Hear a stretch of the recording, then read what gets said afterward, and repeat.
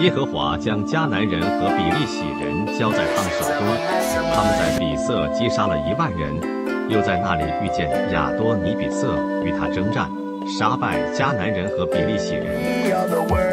亚多尼比色逃跑，他们追赶，拿住他，砍断他手脚的拇指。亚多尼比色说：“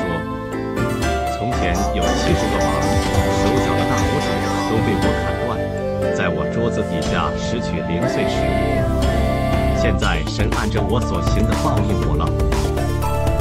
于是他们将亚多尼比色带到耶路撒冷，他就死在那里。犹大人攻打耶路撒冷，将城攻取，用刀杀了城内的人，并且放火烧城。后来犹大人下去，与入山地、南地和高原的迦南人作战。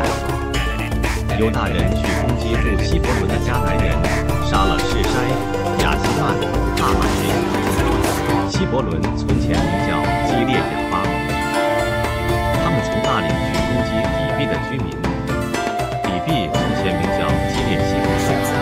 加勒说：“谁能攻打基列西弗，将城夺取，我就把我女儿亚撒给他为妻。”加勒兄弟基纳斯的儿子俄图涅夺取了那城，加勒就把女儿亚撒给他为妻。亚撒过门的时候，劝丈夫向主求一个婚。亚撒一下雨，加勒问他说：“你要什么？”他就说：“求你赐福给我。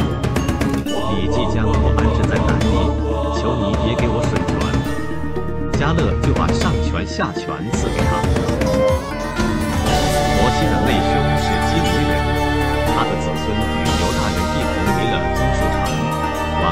亚拉德以南的犹大方去，就住在其中。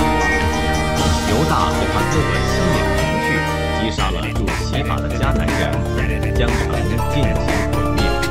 那城的名便叫犹大。犹大又取了加萨和加萨的四境，雅什基伦和雅什基伦的四境。以格伦和以格伦四境，耶和华与犹大刘，大就赶出山地的居民，只是不能赶出平原